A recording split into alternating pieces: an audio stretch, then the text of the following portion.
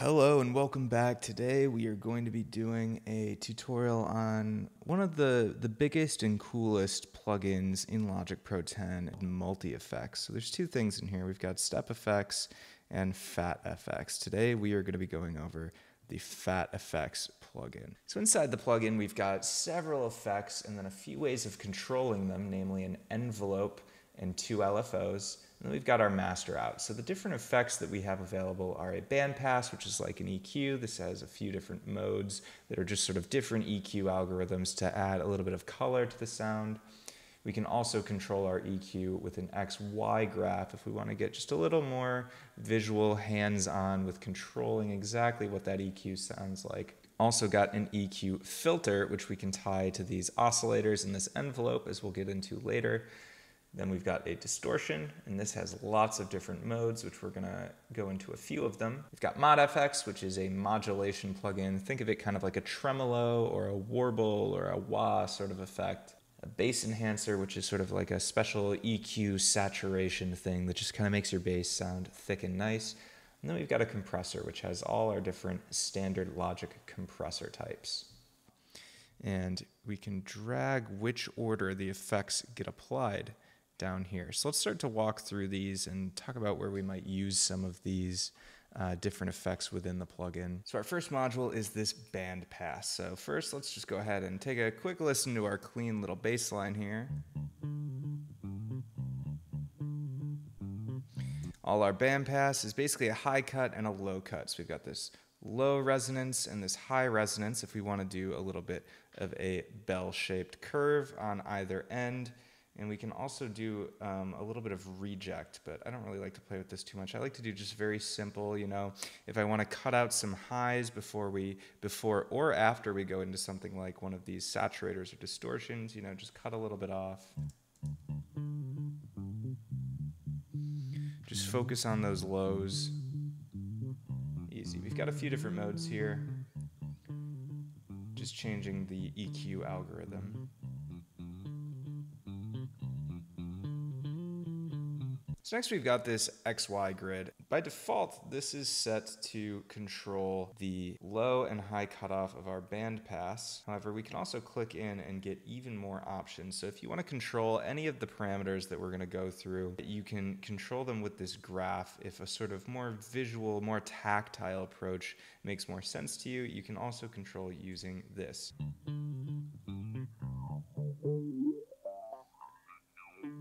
We can do some EQ filter types of effects. So our filter is also another type of EQ plugin. We've got a cutoff, a resonance, a drive, and we've actually got our own mix for this filter plugin. Now here I want to start to talk about some of these controllers because by default our LFOs are set to this filter cutoff and filter resonance. So if we turn on our LFOs, you can start to see all this movement. So we've got these blue circles and semicircles. This is going to be the depth parameter, and it's basically the range of our LFO. And so an LFO is an oscillator. That just means it's a wave that's moving back and forth. So you can think of these blue semicircles as a range, and the oscillator is going to move at a rate, which we can set with this knob, and basically turn this knob for us. So let's just let this play and play with it a little bit so you can sort of see what's going on.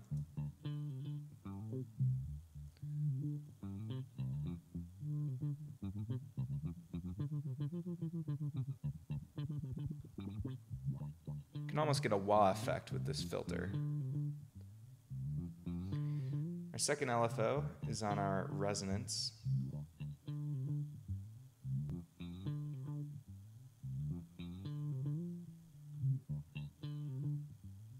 Set our first one to the drive.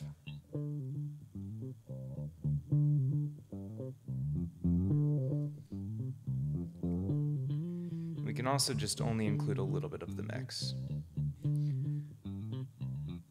A lot of flexibility to play around with these LFOs. Now the third controller is our envelope follower. So to help explain what an envelope is, I'm just going to open Serum because Serum has a pretty good graphical interface to help explain an envelope. So an envelope, in short, is attack, decay, sustain, and release. You're basically making a graph or a curve to show how a sound is going to evolve and change over time.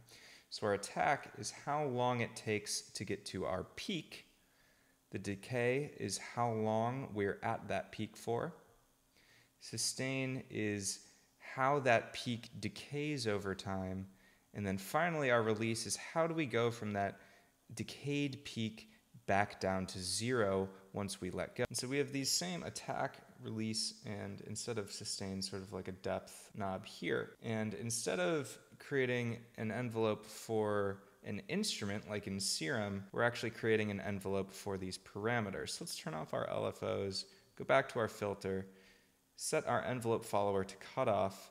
So if we increase our depth, you can see the same blue semicircle starts to appear, but watch how our knob follows it with the envelope compared to the LFOs. The LFOs, we remember, were a constant rate, whereas our envelope follower follows this attack decay type of pattern with depth being our length. So our attack controls how fast this moves initially, our release controls how much it snaps back. So watch.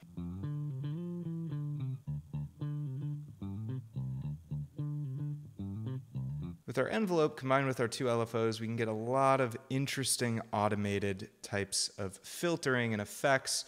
And we can also apply these to different distortion and tremolo effects that we'll get into in just a second. So you can really get a lot of control out of this. That's enough about EQ. Let's get to the fun stuff. Let's talk distortion. So we've got several different modes here. We'll walk you through a few of them. Bit crush. Real staticky and messy sounding. Now this soft saturation mode is my personal favorite. I use this a lot on bass, especially before I got the Saturn plugin. This was my kind of go-to saturator. Just sounds really thick and nice. Also got very drive. Nice and crunchy.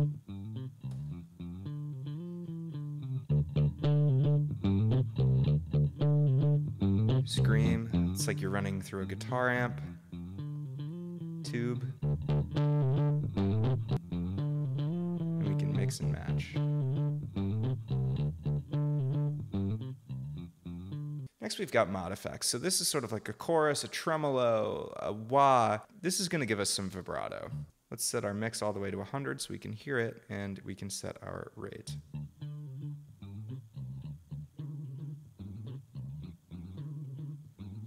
Almost sounds like that TikTok vocal filter. Got a few different modes.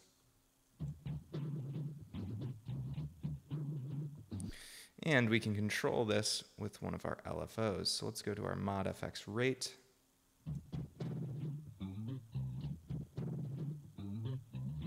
Not particularly pleasant sounding. I tend not to use this particular module very often. Next, we've got our bass enhancer. So this one, again, really good on basses. We've got warm, classic, and clip. I tend to just leave it on warm. It's almost like a Pultec type of effect. I like to stick it around either 60 or around 100 hertz. Go up to 100 hertz, should be able to hear this one a little more clearly on smaller speakers.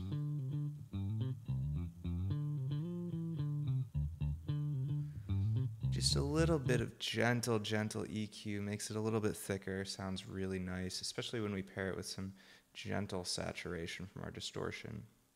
Now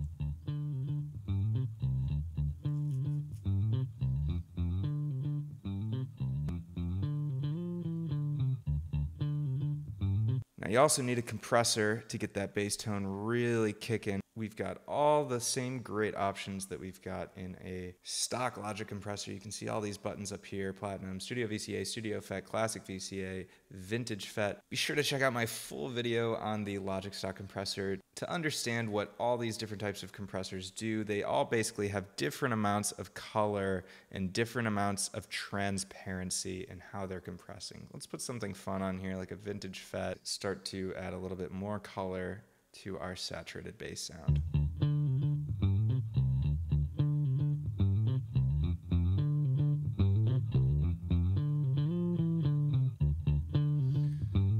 Now we're grooving. That's all the effects. You can see we can get a ton of control with these controllers down at the bottom. We can rearrange things. We can move our bandpass to the end and cut out any excess highs that might be created from some of the more extreme distortions. We can get very subtle bass improvements.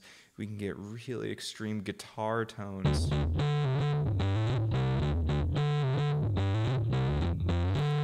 This is a super versatile, super fun, really creative plugin that's super underrated. I hope you enjoyed. Be sure to let me know down in the comments below if you're using this plugin and what some of your favorite underdog plugins in Logic are. Be sure to give the video a like, subscribe for more Logic Pro 10 and music production tutorials and videos. Leave any comments or questions down below. I'll try to get to every single one. And until next time, I hope you all have a wonderful morning, evening, night, whenever you may be watching this. Goodbye.